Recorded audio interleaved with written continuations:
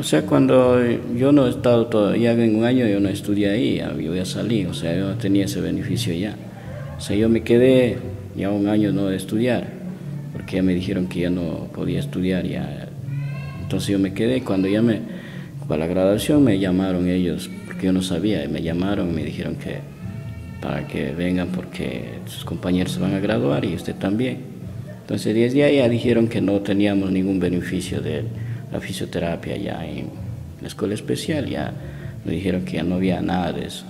Entonces, o sea, para nosotros como personas con discapacidad, nosotros tenemos que tener ese beneficio en, todo, en lo que es, eh, para eso ha sido una escuela especial, pero como ya no nos quieren dar allá, ya no, tiene, ya no tenemos nada, ningún derecho allá, pues entonces ahora ya estamos cada uno en sus casas porque la verdad no tenemos esa, esa facilidad.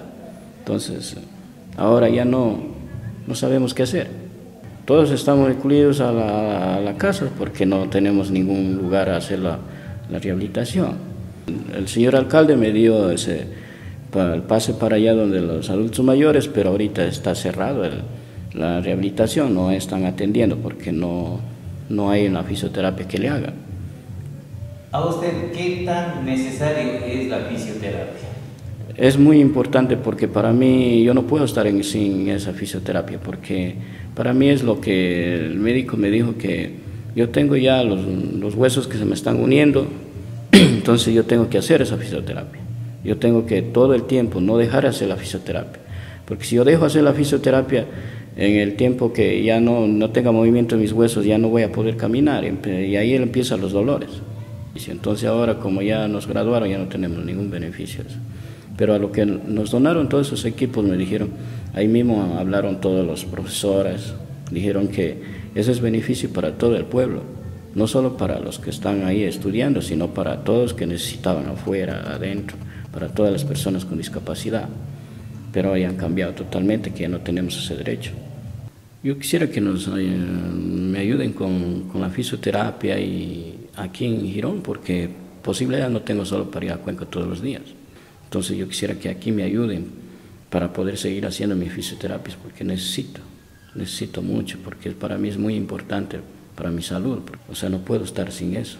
Para mí ni para los compañeros que salieron no está bien, porque ellos también necesitan su, o sea, ellos no se sienten bien en la casa, se sienten mal, porque yo he tratado también conversar con los compañeros que he tenido y ellos se sienten mal, hasta lloran hasta lloran, dice que nosotros estamos, porque ¿dónde está de lo que habla eh, para nosotros como discapacitados?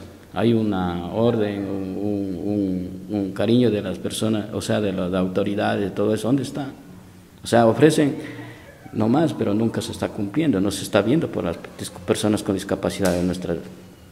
Me siento mal, me empieza a doler los hombros, todas las piernas, entonces yo, la verdad, yo no quiero volver a, quedarme en una silla de ruedas, porque para mí es dificultoso, porque mi mami es una persona mayor y ella no va a poder estar moviéndome cada así en la silla de ruedas. No podía caminar, yo estaba en la silla de ruedas. Eso, lo, eso ahora el doctor también se pone, está viendo, está contento el doctor de ver que, que se está mejorando poco a poco la rehabilitación. Pero sin ello puede volver a lo mismo. Sí, así me dijo, puede volver a lo mismo el doctor. Entonces el doctor me dijo que si, si ya no hay fisioterapia en Girón, ¿cómo pueden ayudarte? Que vengas acá a Cuenca, al hospital, pero para mí es duro. Yo no tengo esas posibilidades para viajar todo, todo el tiempo para allá. Y él pasa delicado y ahora con lo que él no está recibiendo terapia, fisioterapia, él está bastante decayendo, cada día va decayendo. Yo le veo cada día, él dice, mami, ¿qué hago? ¿Qué hago? Mis piernas ya están, dice, más debilitantes, ya no puedo pararme. Yo le digo a mi hijo, digo, pero ¿qué hago? Yo también, y he estado tanto preocupada ahora que legalmente que nos hagan este favor, que nos hagan un favor tan grande que Dios les va a multiplicarlos, de ver cómo mi hijo está sufriendo.